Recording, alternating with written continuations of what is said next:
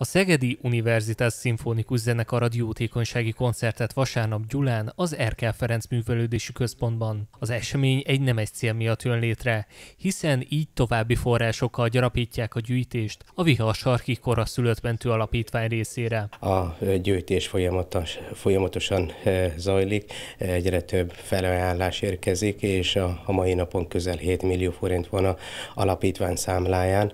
Eh, ezzel a eh, rend rendezvényel eh, biztos, hogy sok eh, támogatóval fogunk eh, találkozni, illetve felhívjuk a figyelmet, hogy minél többen támogassák azt a nemes célt. A jótékonysági hangverseny ingyenesen lesz megtekinthető, de a művelődési házban az alapítvány támogatására lesz lehetőség. A befolyt összeg teljes részét átadják a nemes cél érdekében. Nagyon kedves kollégánk, dr. Kopnicki Zsolt ö, ö, zenél, zongorázik a Szegedi Univerzitás Szimfonikus Zenekarban.